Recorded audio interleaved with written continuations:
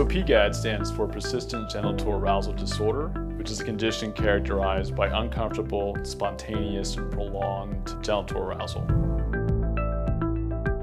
Symptoms include physiologic sexual arousal, which is often not brought on by sexual stimulation. It can last for a long period of time, be quite uncomfortable, and quite disconcerting to the patient. And causes can include pelvic floor dysfunction, Tarlov cysts, pudendal neuralgia are the most common.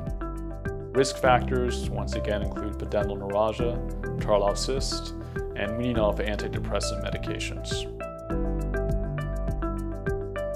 With males, uh, PGAD is often underdiagnosed or misdiagnosed, and it's often confused with, what a syndrome called Peyronie syndrome.